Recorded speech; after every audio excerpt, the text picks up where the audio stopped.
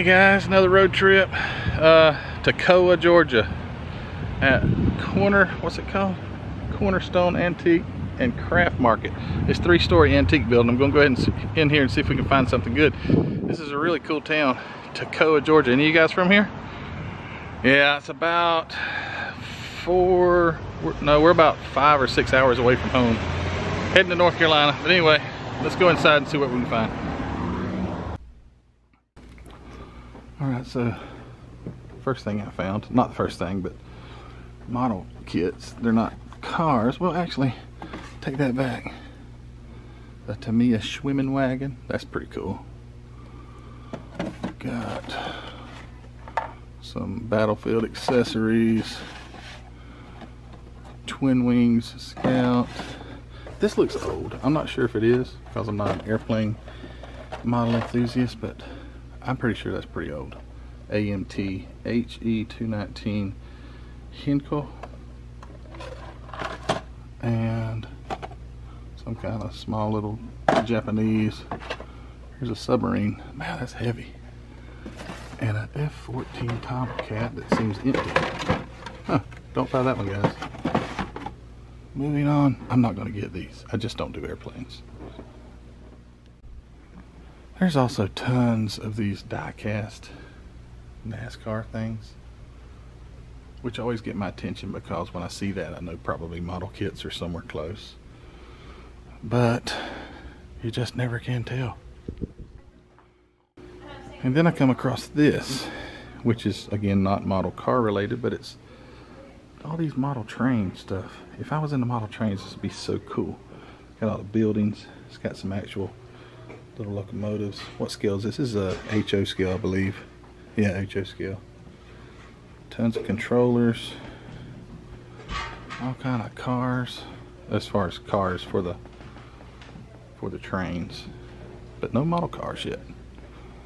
We're still looking. We'll find them.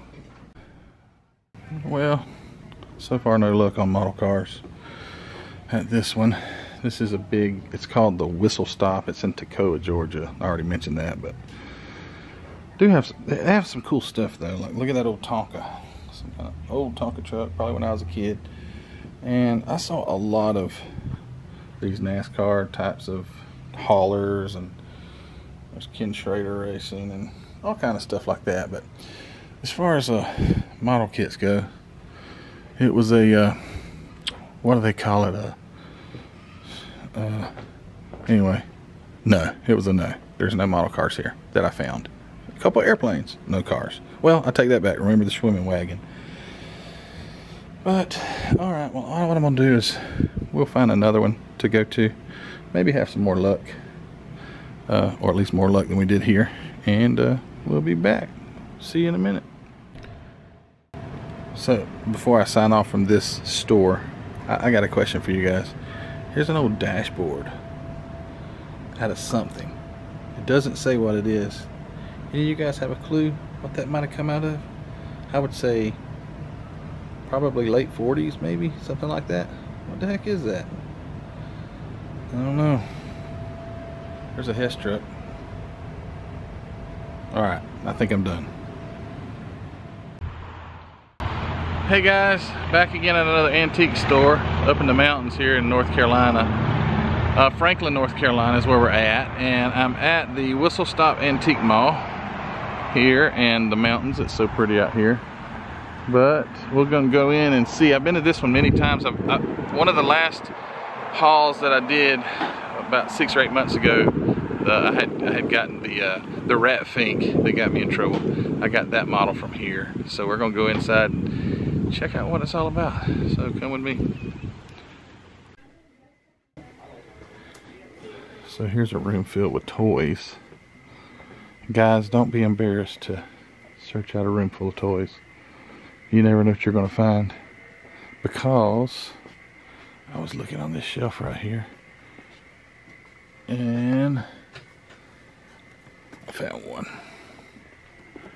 So this is a Neil Bonnett. Poor old Neil Bonnett. He was killed at Daytona. So this is a what's the copyright date? 1989. Copyright date here. It's completely sealed for nine dollars and 99 cents. Not too bad. See if we can find some more.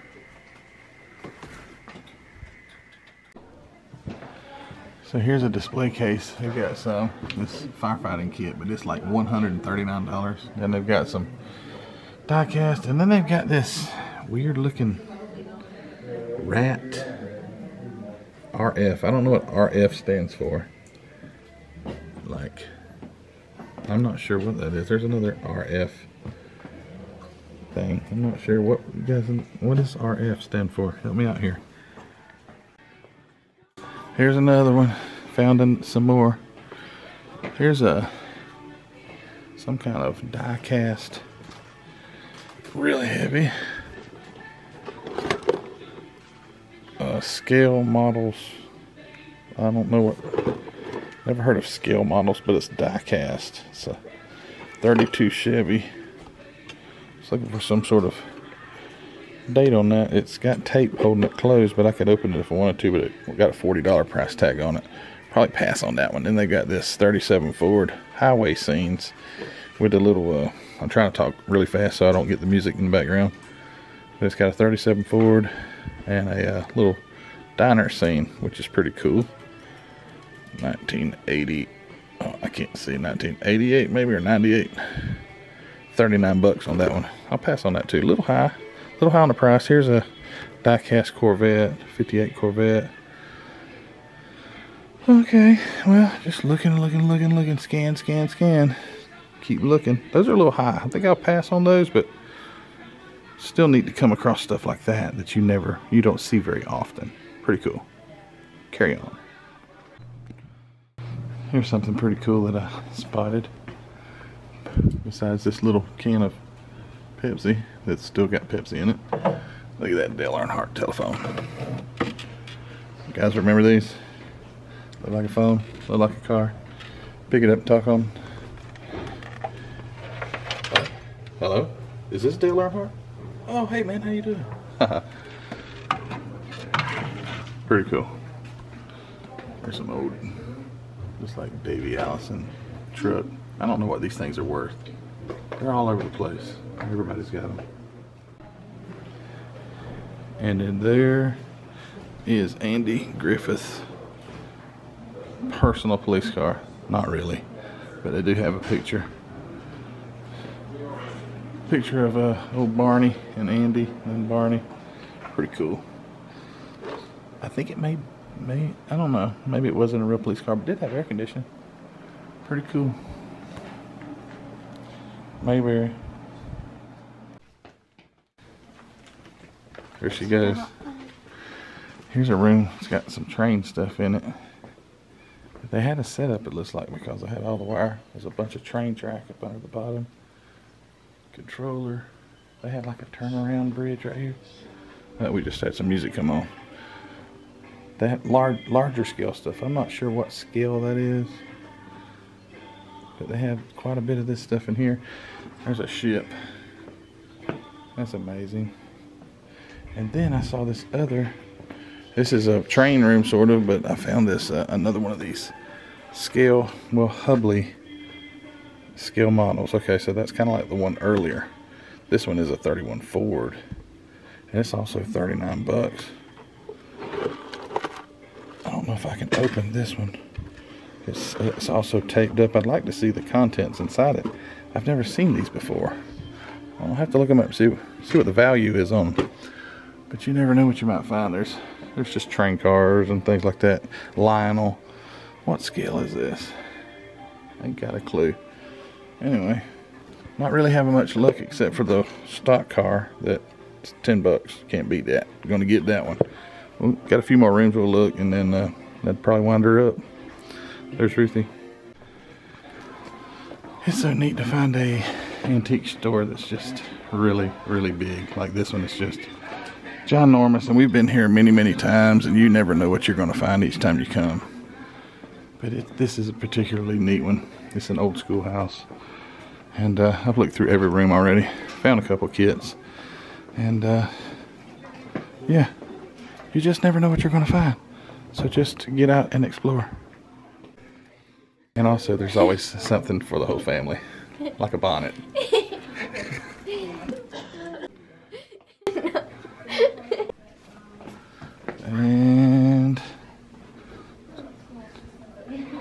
found another one, Jeff Burton.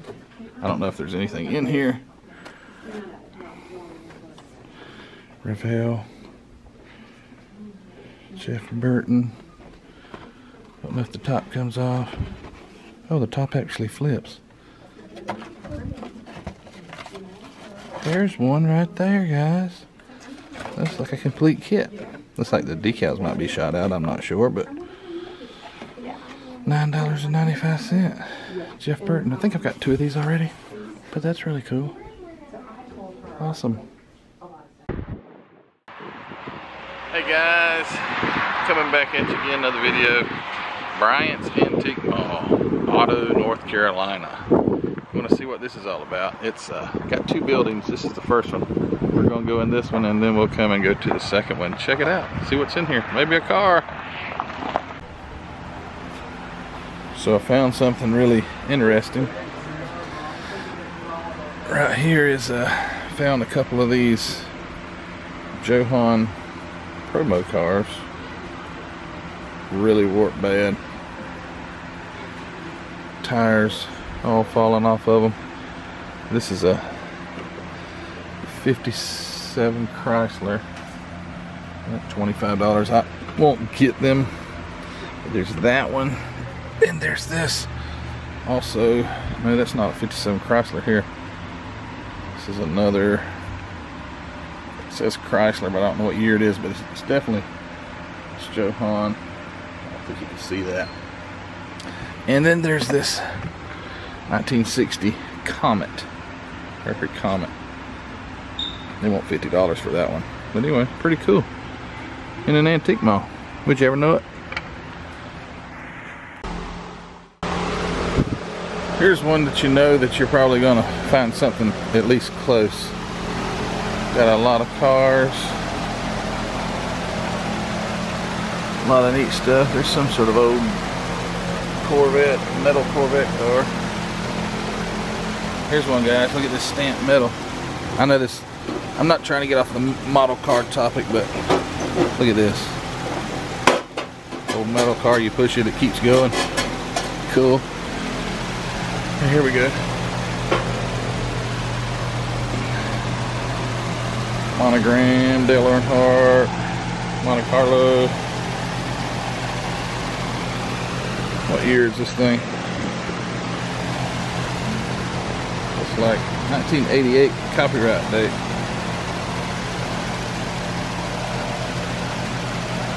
Can't tell if that's 45 or 15, but I think it's 45 bucks. They're they're insane, but if it's 15, I'd take it. I have to check on that really cool stuff in antique malls, guys. Look at that Mustang. It's got some sort of gear levers, old trucks. Just really cool stuff. Really, really cool stuff.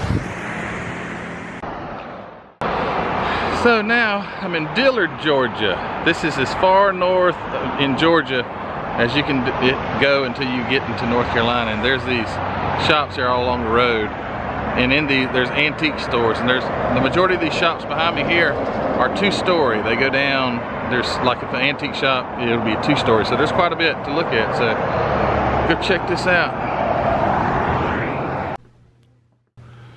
So I spotted something coming down the stairs coming down the stairs here.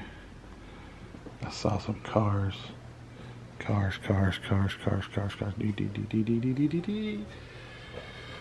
And here we go.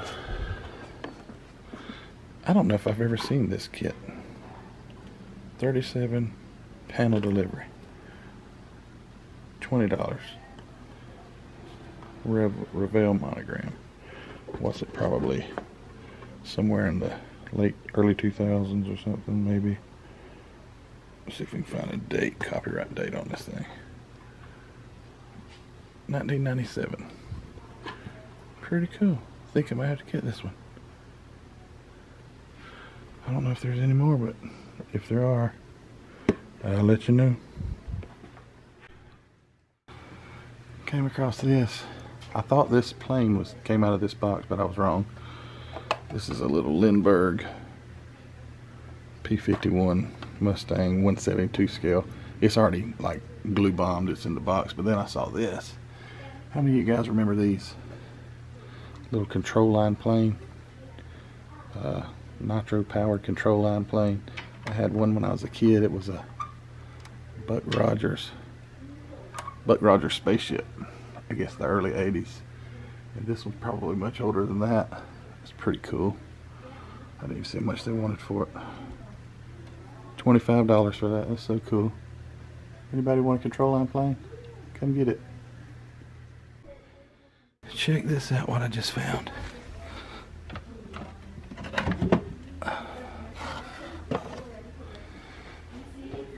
Monogram Land Rover.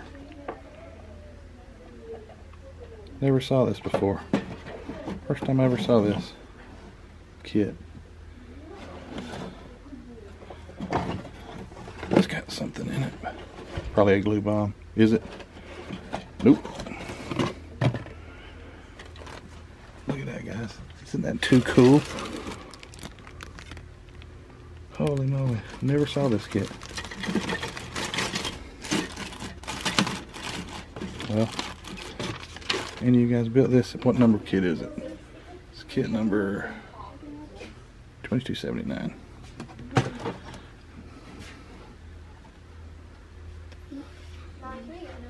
Thirty-five dollars. Check it out. Should I get it? I don't know. I found something else here. I've seen this one on eBay quite a few times. Winds. Who drove this thing? I can't really tell who, who drove it. Um, what year is this? Copyright 1988. They've got $25 on it, but they've got a slash through it, the price like maybe maybe half that. I'll have to check and see. I wouldn't give them 25 for it, but maybe uh maybe I would give them about 13.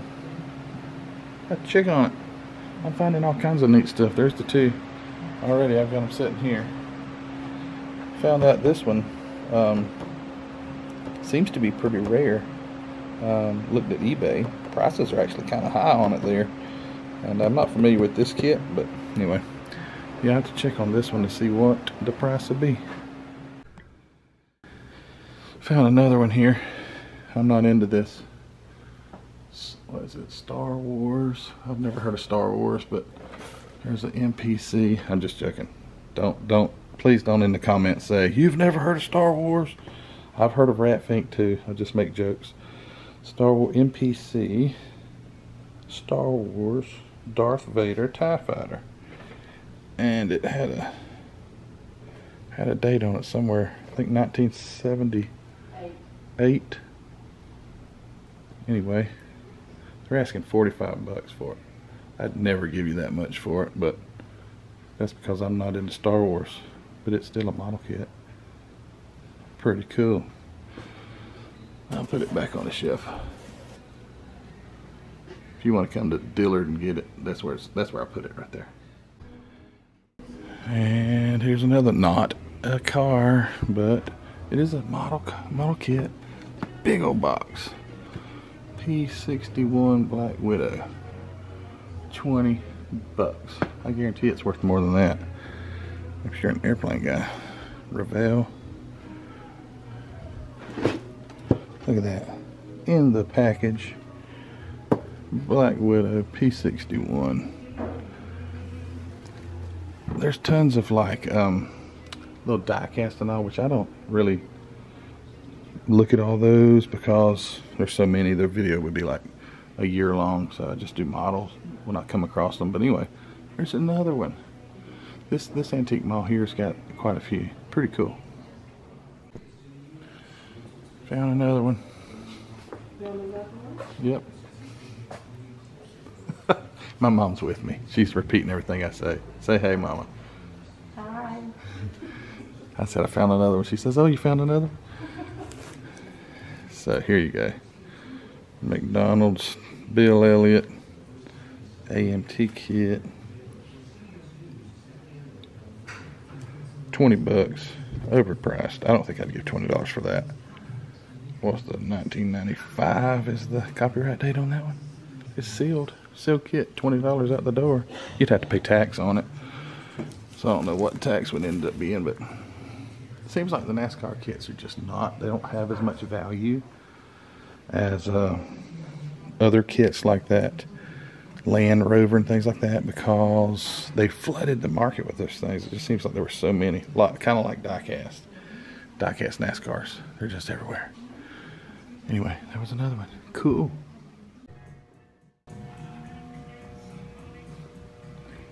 Ugh.